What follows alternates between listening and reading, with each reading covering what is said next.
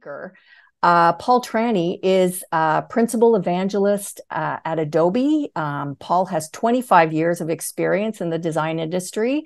He brings a really, really deep uh, and very useful knowledge of uh, design tools, as well as some random knowledge of 80s pop culture. So please give a very warm welcome to Paul Trani. Thank you so much, Christine. Uh, yeah, I'm so happy to be here. Uh, yeah, this is going to be good. I'm so happy everybody's joining me. Again, generative art, when we talk about new tools and techniques, sort of everything that uh, really to empower you as a creative. And again, I've been doing this for a long time in various aspects. This, you know, I think with generative art and these um, sort of generative AI tools are game changer, probably the biggest thing I've seen in 25 years. So this makes it fun for me. I'm glad everybody's here and at the cutting edge of this sort of uh, generative AI uh, art sort of, I don't know, revolution, evolution. It's just, it's just crazy how fast things are moving. Uh, and I'm sure you know, and that's why you're here. And on top of that, like you have all of these tools that can do some generative art and uh, that's what I want to focus on as a visual designer, creating content, you know, background in graphic design and motion and all that fun stuff, you know, from my our my perspective. Hopefully it's yours as well. So there's tools out there. Of course, Photoshop's been around a while you know, I work for Adobe, so probably going to be some Photoshop here. So shouldn't be a surprise. But new tools like Adobe Firefly, which we'll get into, ChatGPT. This is just the long list, Midjourney. But when it comes to generating art, there's a multitude of tools. But really, there's about kind of, I would say, around four for when it comes to generating art. Uh, below that, so down here, we also have uh, sort of Runway ML for creating some video, which I'm a doer. I want to actually do a lot of this stuff and show you uh, it actually working and everything. Um, you know, Wonder Dynamics, Dynamics. We have Stable Diffusion, of course, creating visuals. Eleven Labs, text to speech. Um, I don't know if you guys are aware of that, but you just record a little chunk of your voice. I forget, like it's like 15 seconds, could be a little bit more. The longer, the better. You upload to 11 Labs, and then you could write any script that you want. So if I'm doing a video on the road, it, they already have a sample of my voice. And then I can just write out the script and then it will give me that voiceover audio. Um, and I don't need to carry all this audio equipment with me. So uh, the, this is kind of what's in my toolbox. Of course, I have it narrowed down to sort of my favorites right in here. I'm familiar with these. Again, Firefly, uh, DALL-E, which is. And I try to categorize everything. So I think it would be helpful to know sort of how, how does one which one is your preference right? Midjourney is super popular and has really come a long way. It's kind of tricky with midjourney because you have to write a prompt. You're using discord and definitely prompt heavy you know. Um, stable diffusion you know it's kind of just to set up can be kind of tricky um, but it is pretty powerful. So it's all like almost like the more technical you are the more you can take advantage of these tools especially when it comes to stable diffusion um, the thing that's important for me, it's like this part, which I wish I could zoom in on like, where does this data set come from? Did the company just sort of, I hate to say it, just like take all the images on the internet as their data set to generate your image? So ethically, I think um, it's important to kind of take that into consideration. Um, uh, but yeah, so uh, I think at Adobe with Firefly, we try to be as clear as possible with all of that. So, anyways, that's just a slide. Feel free. This is being recorded. You can reference this later on. I'm going to move on because I want to talk about like Firefly. So easy to use, right? It's our new family of generative tools. I, I'm not looking at chat right now, but I would typically ask like, you know, who who's tried it out? What is your experience? Uh, that sort of thing. So I'd love to get your feedback. But it is trained on Adobe stock images, openly licensed content, and public domain content where the content uh, copyright has expired. So you know, uh, you know, again, you you you're ordering something from a restaurant. You you know where all the all the ingredients were sourced, which you know makes me feel good uh, knowing that they're not taking art from an artist friend of mine and uh, using it as the short of it. Why do we do that? To make it commercially safe. Third bullet point, huge, right? So we're using Adobe Stock. We need to build out a compensation model for everybody who's contributing to Adobe Stock. You know, so you're contributing to what ultimately makes Firefly. How can you be compensated uh, since we are using those photos? And that's kind of the holdup and why we're currently like in beta is building that out. Um, but again, you could also choose to do not train if you are uploading to Adobe stock. But the exciting thing is sort of seeing the stuff integrated into apps. Uh, that's enough of slides. You know, I have a couple more, but I'm just going to dive into this because I think it's just, it's it's most interesting just to to view this, you know, content.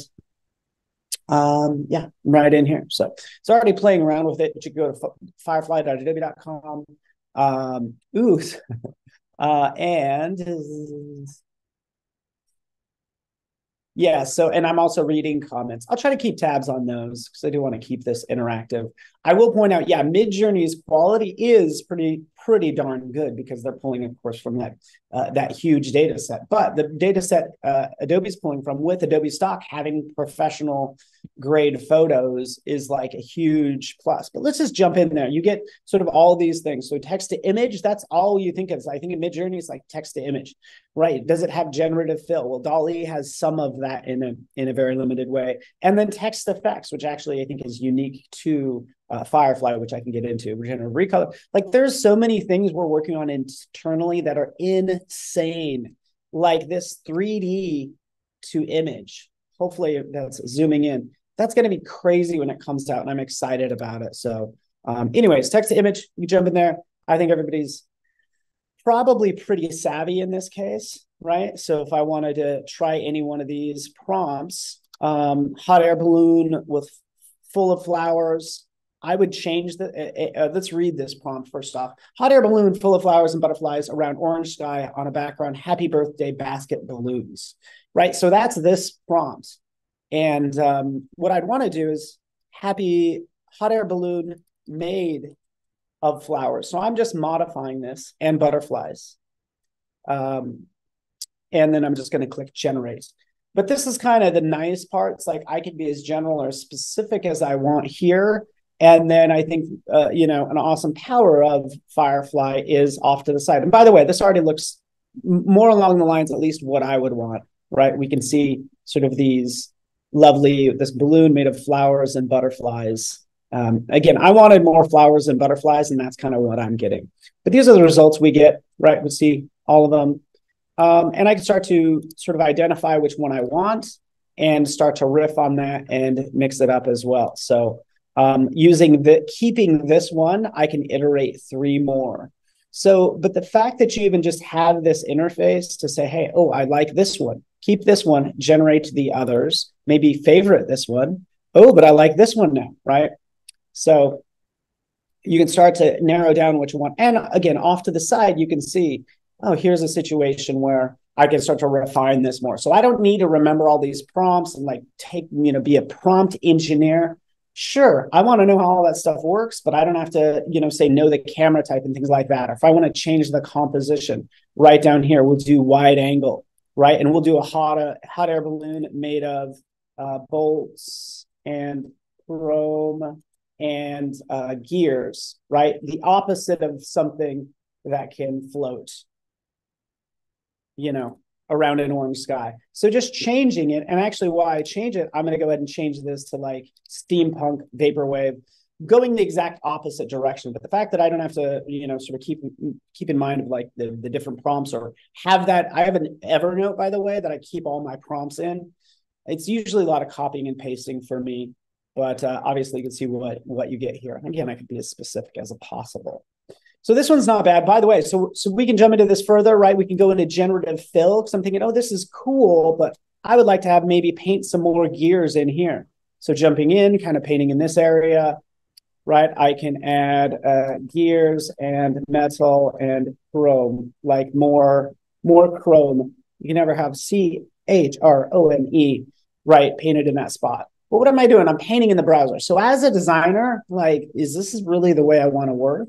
I probably want to sort of work on my desktop in, you know, something like Photoshop. So this is what it brings in. It actually samples from the area. My prompt was pretty close to what I currently have. Sort of it is, do I really want to paint this way anyways, right? From there, I can download this image and uh, and run with it. So again, I was just kind of having some fun. You uh, hopefully kind of get the gist. Let's run something else. Uh, let's do like surreal, psychedelic, colorful animal, and we'll click generate. While that's happening, we'll take a look at sort of what's downloaded. We can go into our downloads folder. Sort of there's this image, and there's a couple other things that I've generated as well. You know, here's, you know, a cat, for instance.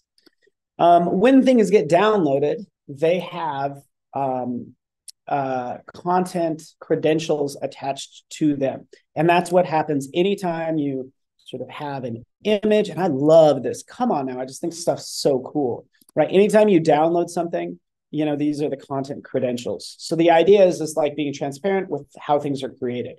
So that gets attached. And, you know, if you ever want to verify it, you can go to verify dot So the idea is like this is not an Adobe thing. It's a consortium. If that's I'm saying that correctly because it sounds weird. Consortium.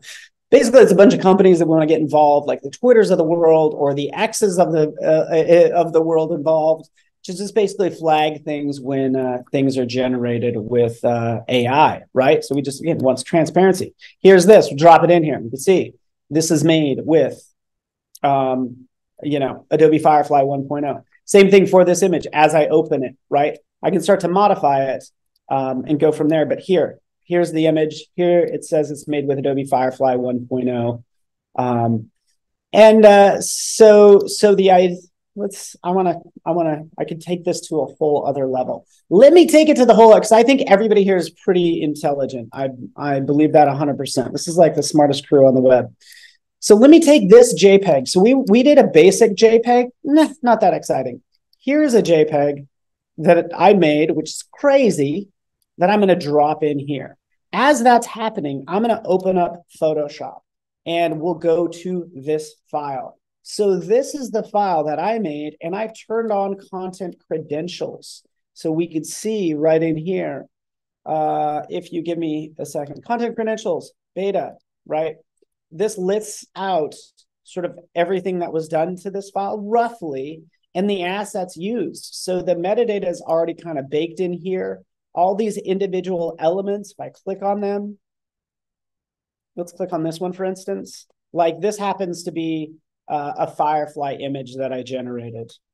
And, um, you know, the content credentials is attached to that. So I just did some crazy stuff I attached content credentials to it. I saved out the JPEG. And um,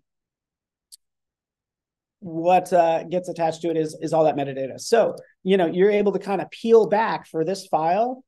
We can say choose comparison. So it says it's made by me. I've attached my social media. People don't steal it, right? Here's all my stuff. Here's all the assets that were used to kind of create it.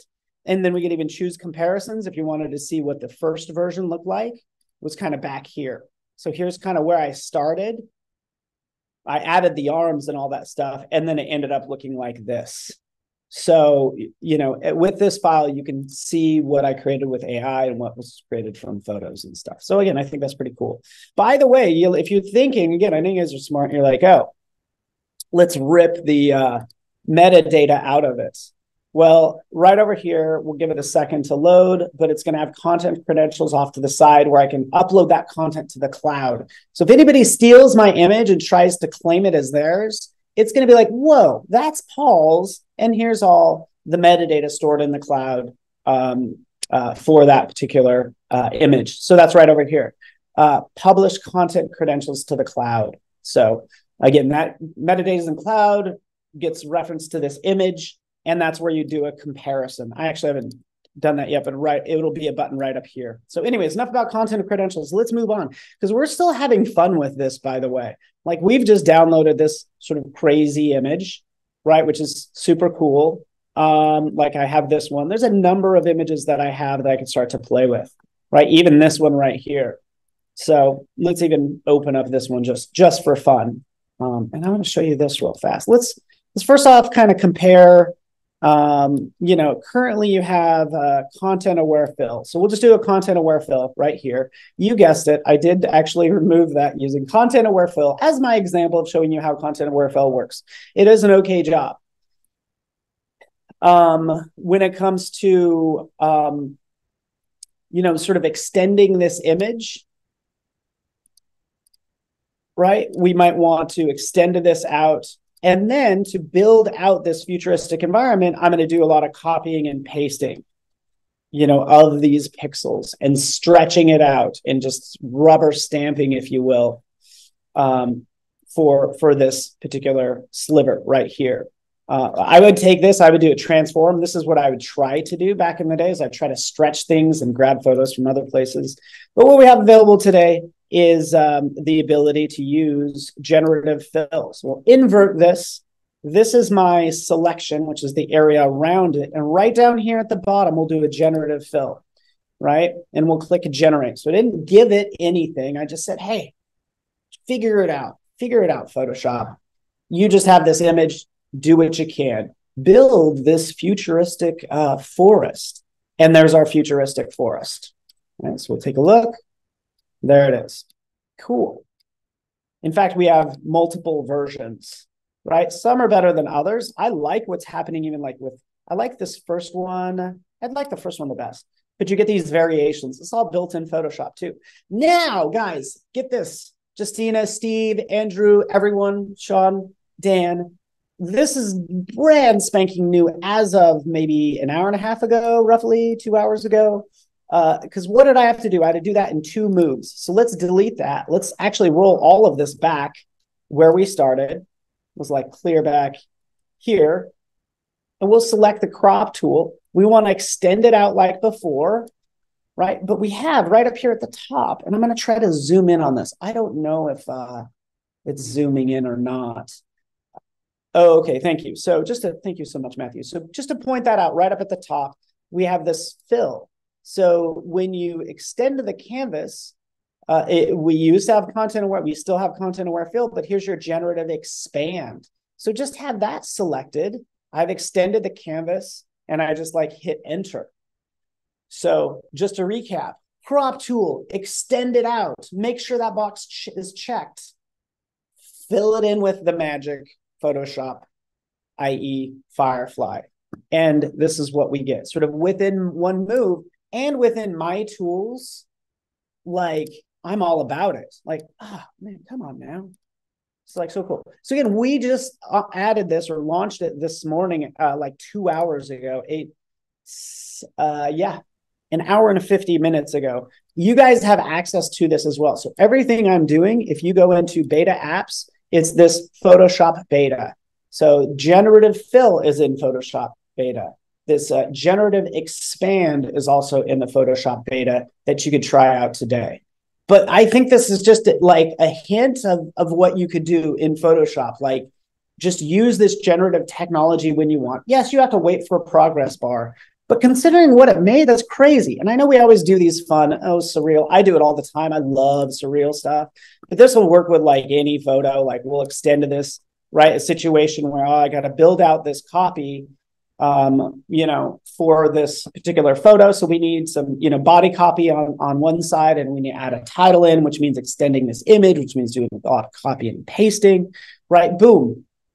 I did it so fast. You're probably wondering what I did. I hardly know what I did. It doesn't matter. It did it. but all I did is really is just have this checked by uh, by default. And it built this out. Look at that. Oh, we built out this whole trail. And just to remind everyone, this is the original was this size. It wasn't masked or anything and it created this whole area. Let's do you one better by the way as we zoom in. Situation where like okay, we didn't uh, we didn't. We maybe maybe it's a, an image of somebody, and maybe you didn't get sort of a, a, release from them to use their image, even though you can't see this lady's face. Um, or back to the situation of I want to put some copy in here and just need to remove her. She's a little distracting, right? So what we'll do, we'll do generative fill right in here. Down here at the bottom, I'm just using generative fill, and this is the new context bar, contextual bar, where I can type in whatever I want. But this time, I'm just going to click generate. So anytime you leave that blank it's just going to fill it in with the surroundings.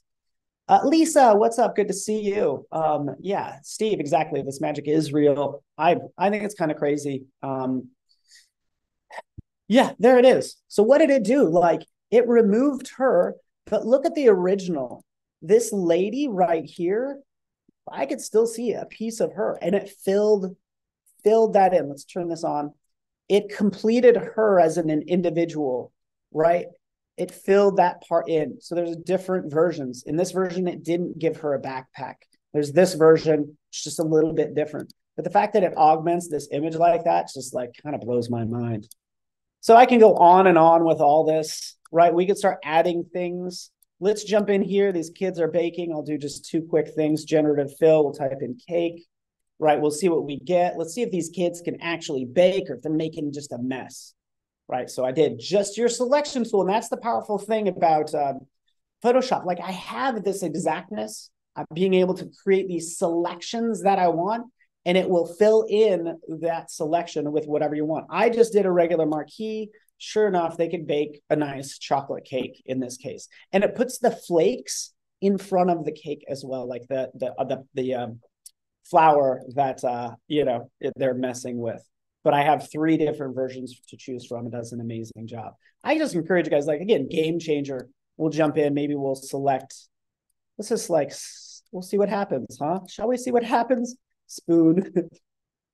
Typically, hands are very difficult, as as you might have experienced. I just typed in spoon because hey, how did she make this? They're just using their bare, grubby hands to make this cake.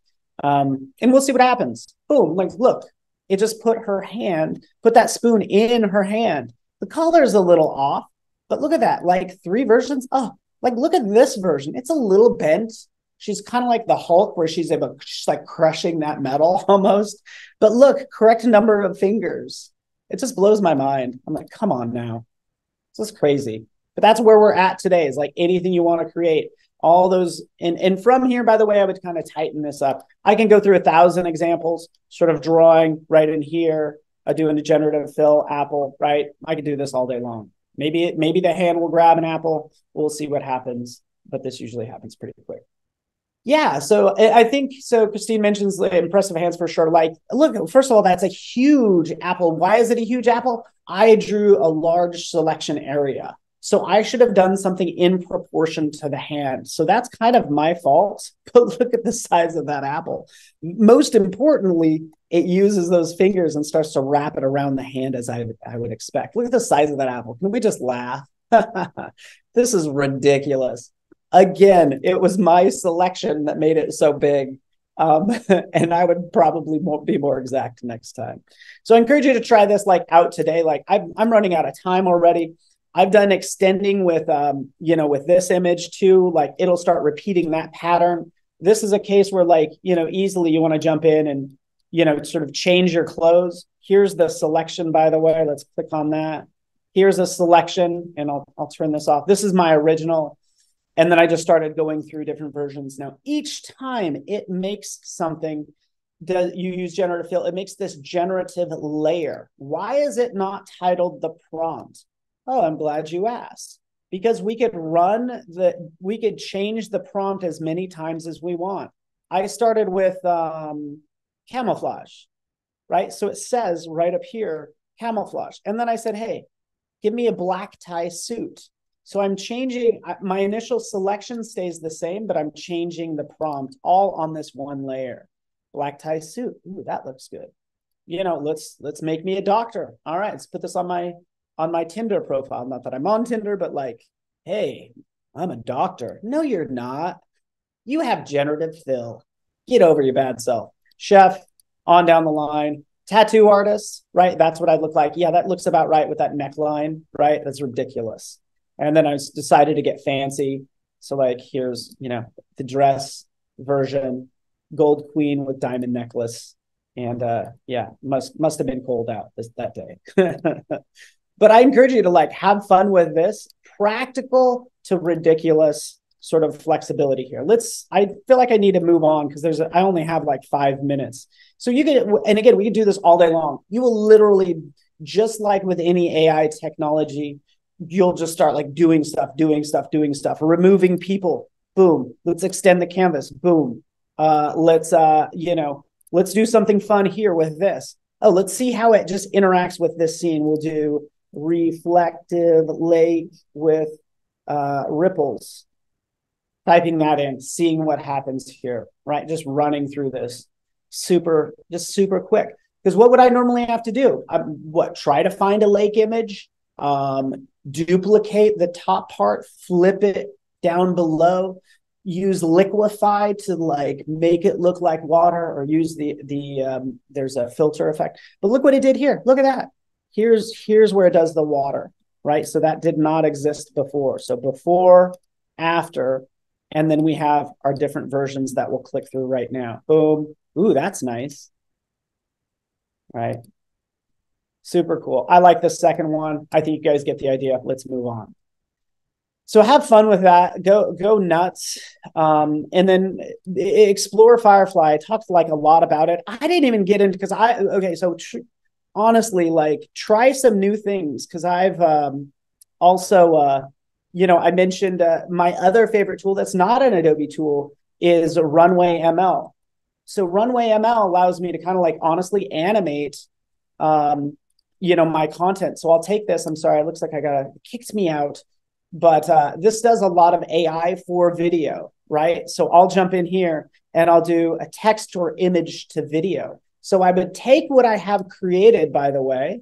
So back in Firefly, what was just downloaded, you know, taking this image, putting in here, you know, uh, uh, cat running through the woods. We don't have time to process this it's just going to take a second. So that's why I'm going to switch over to this version. This is the version where I gave it an image, which is right down here at the bottom. And I'm sorry, it's hard to see.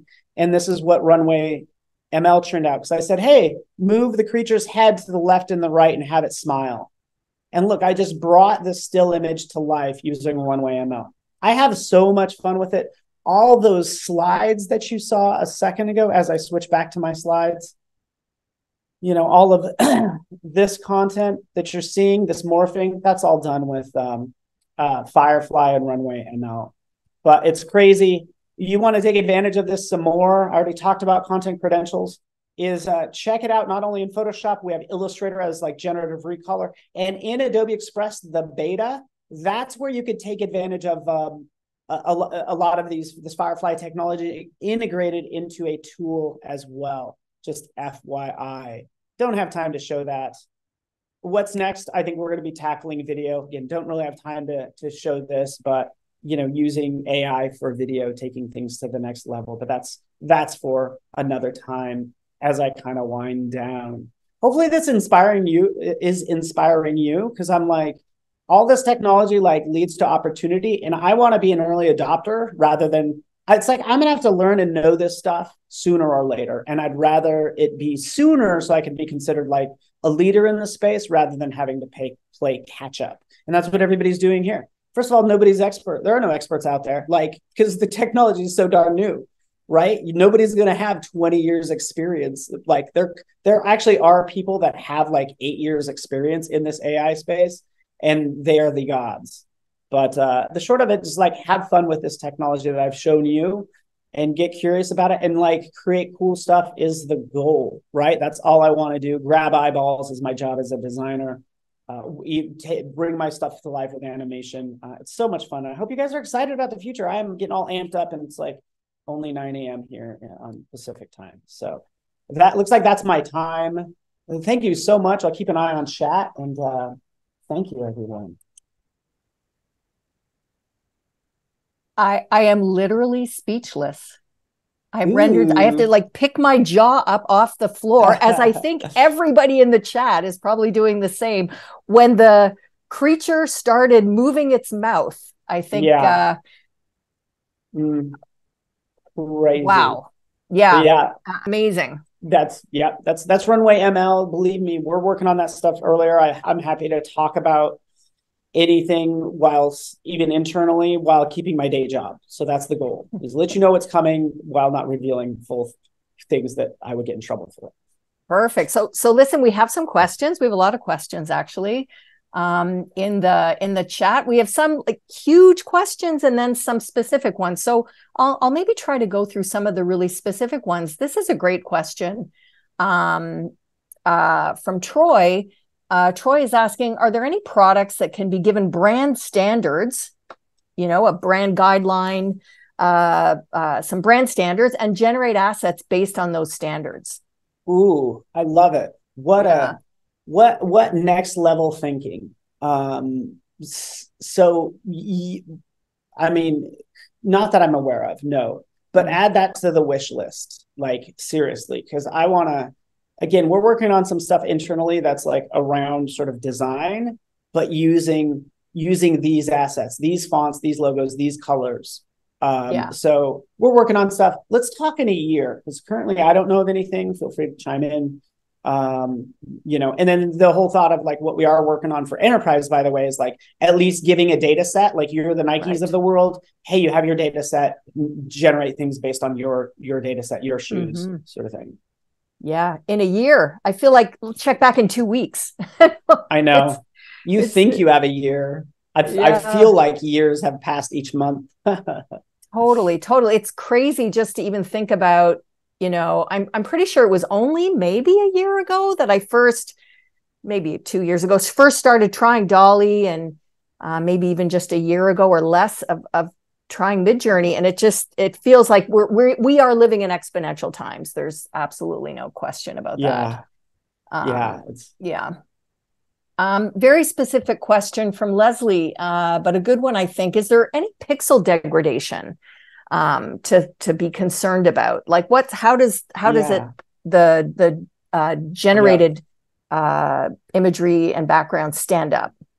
Yeah, great great question. So, pixel degradation, basically, like what what what I so it returns about a thousand by a thousand square image anytime I like make something. So when I extended those images, it's doing roughly that. So if you're working in Photoshop in a high DPI, 300 DPI image, since it's only returning that smaller square, I would do that background scene almost in chunks, like left, right, top, bottom. Right. Um, but know that we are actively working on, and that's the number one question we get. If I went to the Discord, that would be the top requested feature of give me a high res version of this prompt. It'll you'll have to wait longer, but like rerun it high res sort of button is what I like up high up res sort of thing. Right, right. Uh, just point out in the chat, uh, Dre has posted uh, that uh, someone has made an AI brand design tool. So it, it's uh, uh, like these things are obviously these um, uh, productivity yeah. gains, incredible productivity gains. Um, yeah, Dre, really that's awesome. Yeah. Um, another, again, kind of a specific question, but I think a really good one when we think about credentialing, copyright, ownership, things like that. So uh, Kirsten is asking the credentialing is great for directly created images. Is there any detection possible when you've pasted AI generated pixels into your own document? How do you make sure that the credentials travel along into your uh, Photoshop uh, document and then into an exported uh, image? Like how how does that metadata? Yeah. Where, when, and where does it become attached? Yeah. I mean, it gets attached at the beginning. You you could probably like hack it and like strip it out. If I do a copy and paste in in Photoshop, and I haven't done this in a while, I open up a Firefly image, I just do a select all, copy, paste. I've seen it bring the metadata with it, but I'm not. I'm sure we don't have all that worked out to where you could just, you know, it's just not. You, you first off, you have to turn it on too for your image, so you have to proactively, you know, have that data uh, metadata attached to mm. it. But to your point, like anybody could probably steal something. They could maybe do a screenshot, things like that. Right. For me as a designer, I'm just I want to prove that I made a thing, and other people can not prove that they did make the thing. Yeah, because they just have a JPEG, and not all the layers like I have. Here, here's a, a great question that I think probably a lot of us are kind of curious about. Um, uh, from Laylee, why can AI not create fingers and faces? Why? Why? Mm-hmm. Yeah. Why the struggle uh, specifically the, there? The general thought is like most images out there of people's hands, they're holding something. So AI has a hard time distinguishing what's the object and what are fingers. So that's the general thought why it's so mm. difficult. The hands are always holding something and it's hard to decipher. so many different objects. But we, you know, that's no longer a joke. We used to always joke about, oh, look at those six fingers. No, that's like not the case anymore. So, um, wh- whatever AI can't do today, it can probably do tomorrow, and I probably literally mean tomorrow. apparently there's an AI to design branding tool that's out there already, thanks to wow. Dre. yeah. Um, is a question from Katie. Uh, how do you think that this could affect the the film animation industry? Yeah, uh, well, especially animation. I hope yeah. animators are using these tools. It's doing sort of the, you know, again, doing the in between frames, things like that. So they should be I want them promoted to art director to where they're making the key art and then the AI is building out the animation because it understands a white a walk cycle. That's my hope there. It's going to hopefully make that those jobs easier for them. I hope it leads to more creative projects, just the ma- amount of projects that get generated. Um, but yes, it will do some of their job for them the same way Photoshop does more of my job for me, and I just get to make the decisions. Is my hope for them. Um, this is a kind of a bigger a bigger question. Uh, what is your biggest concern with um, AI generated art? You know, I honestly I think well, AI generated art. Um, you know, honestly, like people not being transparent about what they're doing and what they're not doing. And I think it's easy to you think it's easy to spot AI. Everybody's like, oh yeah, I can totally spot AI. No, you can't. Like, we're gonna get to the point where you can't tell. And I'm sorry. And that's where I'm like, my biggest problem is like the transparency of the person admitting create you know saying what they created and didn't create. And i think for artists my stuff getting stolen.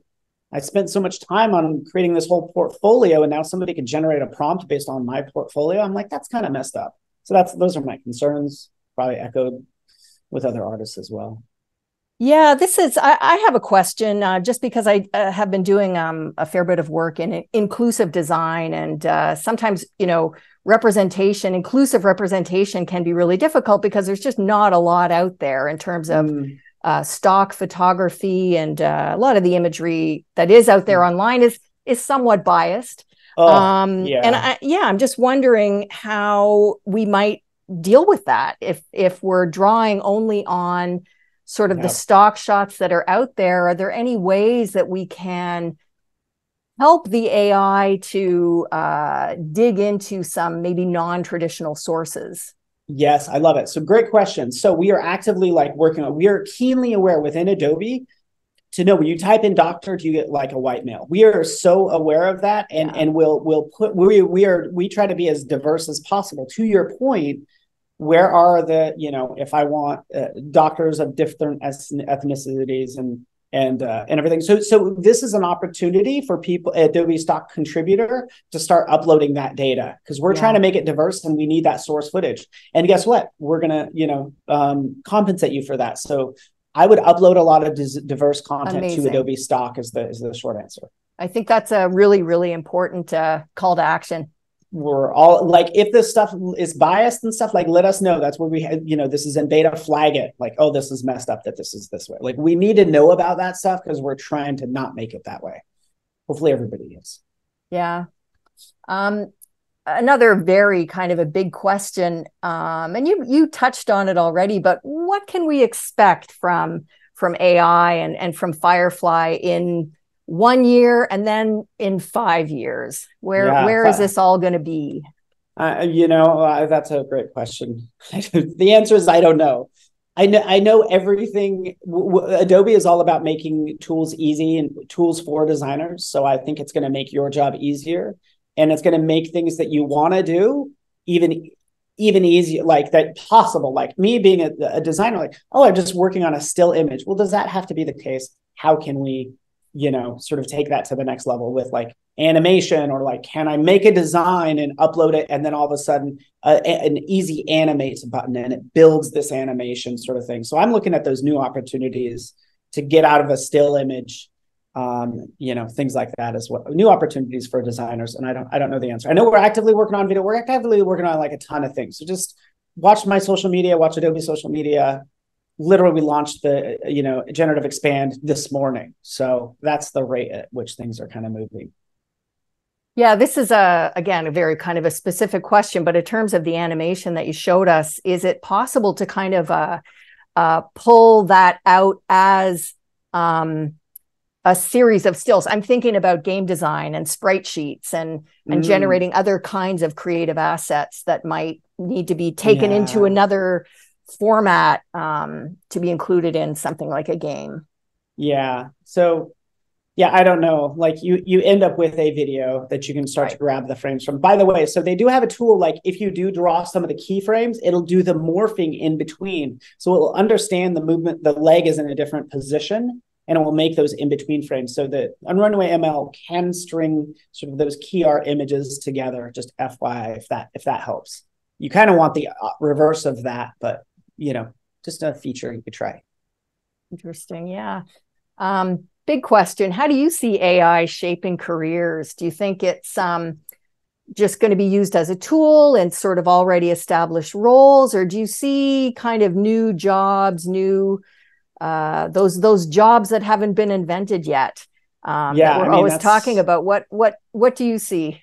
That that's the goal. Like, I mean, any company is probably looking at somebody who could, you know, like just yeah. So so the answer is I don't. I, I think people aren't going to lose their jobs to AI. They will lose their job potentially to a, a, another designer that knows AI and is mm-hmm. taking is taking advantage of AI. So that's what I think that you know. So the more skilled worker over the one that just is is maybe not embracing it. But I also think it's fascinating that it's directly impacting you know data data scientist, like uh, uh, the the uh, dare I say like white collar workers.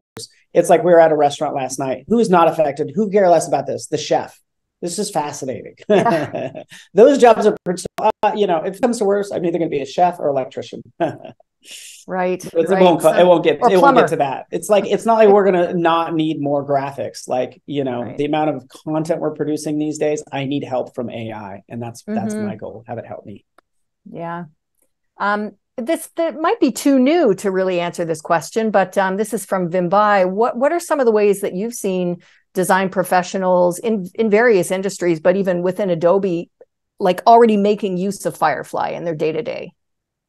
Yeah, um, so it's currently not available for for uh, for uh, commercial use, but a lot of people, and I go to a lot of agencies, so they'll be using Firefly for concepting. They'll use Midjourney. They're everybody's doing it for concepting, for pitching yeah. clients on work for videos and stuff. That's why the Firefly for video, there is a little clip that shows, you know, sort of taking a script and then it will start producing all of the um, what's the word I'm looking for, like the the the the, the sketches, if you will, or the art for it. Because what's a script but like a bunch of prompts? So we're we're working on that internally. I don't know where that stuff is at, but people are using it for concepting internally, and everybody's using generative fill. At least the people that know about it are using it.